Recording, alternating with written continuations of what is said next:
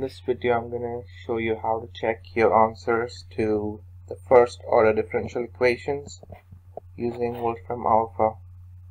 So first you need to come to this website Wolfram Alpha and pick one example from your textbook or notes.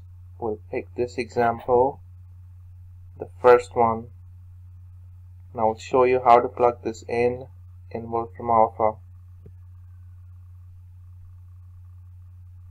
You should plug it the way it is. X. In place of dy by dx you put y with this symbol. Recognize it as dy by dx plus y equals e to the power of x.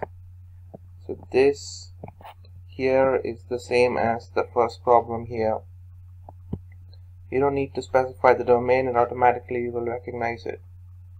Just come at the beginning and say solve. So it will automatically solve the first order differential equation for y. Come at the end and press enter.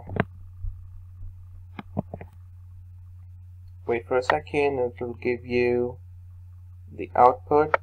What you need is the solution. This is the solution to the first order differential equation.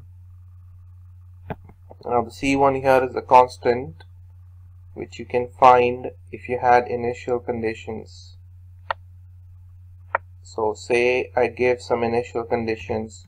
You put initial conditions as y bracket 1 equal 1. This means when x is 1, y is 1 this is how you enter the initial conditions. And then press equal to again. And now if you see the solutions it's already solved for the value of c. So this is the solution to the first order differential equation with this initial conditions. I hope that helped